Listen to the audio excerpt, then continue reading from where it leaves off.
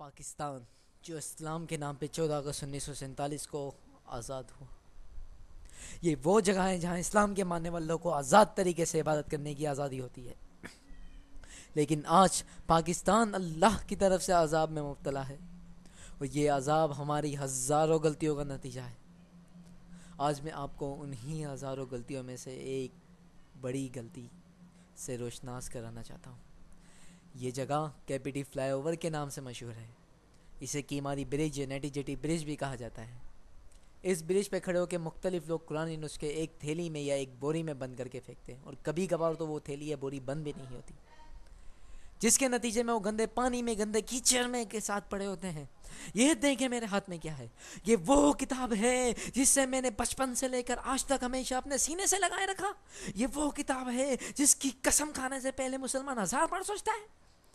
और इसी कुरान की कसम, इस गुनाह की ज़िम्मेदारी हम सब पाकिस्तानियों पे है। हम सब पाकिस्तानियों पे। आज खुदा के बंदो, ये अल्लाह का कलाम है जिसे हम में से किसी एक ने ब्रिज के ऊपर से फेंका होगा। और इसे अपने हाथों से कच्चे, कचरे और कीचड़ के नज़र कर दिया होगा। ये किसी काफर की, किसी डेनमार्क के जर्नलिस्ट की काम नहीं है।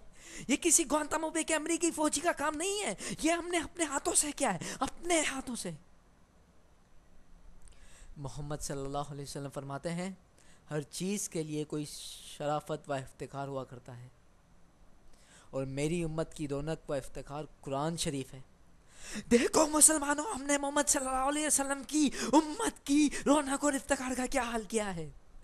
ये वो किताब है जिसके बगैर वज़ू, जिसको बगैर वज़ू के छूना भी गुना है। ए बंदा है मोमिन, देख तूने कुरान का क्या असर किया है। एक जगह हज़रत मोहम्मद सल्लल्लाहु अलैहि वसल्लम फरमाते हैं कुरान शरीफ ऐसा शफ़ी है जिसकी सिफारिश कबूल की गई है। और ऐसा जगरालू है जिसका जगरा तस्लीम किया गया है। जो शख्स इस कुरान को अपने आगे रखे, इसको ये जन्नत की तरफ़ खींचता है और जो इसको पस पश डाल दे, इसको ये जहन्नुम में गिरा देता है। हाँ हाँ हाँ आज हमने इसे पस पस में डाल दिया है और आज ये कुरान अल्लाह हमारे लिए अजाब की सिफारिश कर रहा है अल्लाह से।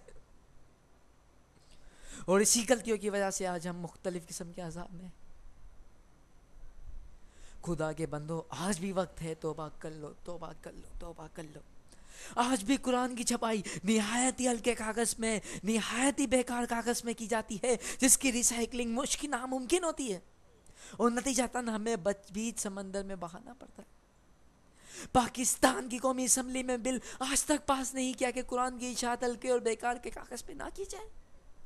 मेरे बुज़ुर्गों, मेरे भाइयों, मेरी बहनों, आज तुम्हारा फ़र्ज़ तुम्हें चीख चीख के पुकार रहा है और कह रहा है, उठाओ, उठो और बचाओ अपनी शान को, बचाओ अपने कुरान को, बचाओ अपने कुरान को, बचाओ अपने